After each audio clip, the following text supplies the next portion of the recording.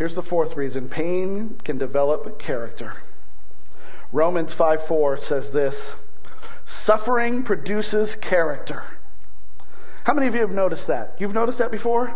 In life, you always learn more from your pain than you do from your pleasures.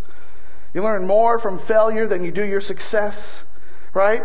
It's the tough times that we develop character, not the easy peasy times, right? That's not when it's happening. God is interested in molding you and I and making us into the likeness of His Son. That's His goal. Great quote from C.S. Lewis. If you've never heard this before, you're going to love this. C.S. Lewis says, God whispers to us in our pleasure, but he shouts to us in our pain. Isn't that true? I know that uh, when I was younger, my parents separated when I was about 15 years old. Things were not going great in our home, just to even put it lightly. But it wasn't much longer after that that the actual divorce took place. I was 16 years old. I had two younger brothers. One was 11 and the other one was 6. It was not an ideal situation for anybody. It wasn't. And you know what happens?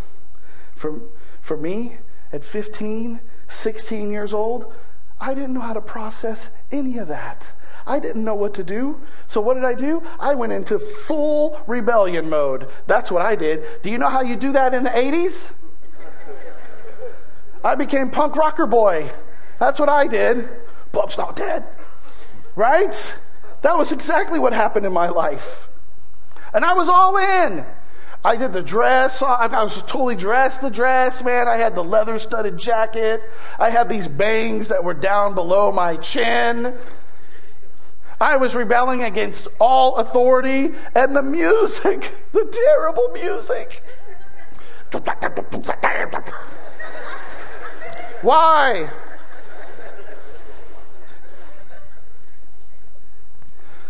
But the truth is, those were just action. Those were just surface actions. That's what it was of a much deeper hurt inside. That's what was happening. I didn't know how to process any of that. So that's what I did. And so I end up recommitting my life to Jesus Christ when I was 21, just a few years ago. And it's not funny. I began to grow in Him, and the Holy Spirit began to teach me how to process and to move in life. And here's what happens, and that pain begins to develop some character. And so, you know what I said? I said, guess what?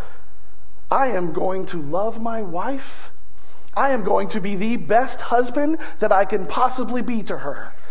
I am going to be a great father. They will see this. My children will know beyond a shadow of a doubt that they are loved always. And that I will be this example for them of what a great marriage looks like and what a great family looks like. Because this is what happens. Suffering can produce character in us. And please hear that, folks. The pain can develop character in our lives if we let it.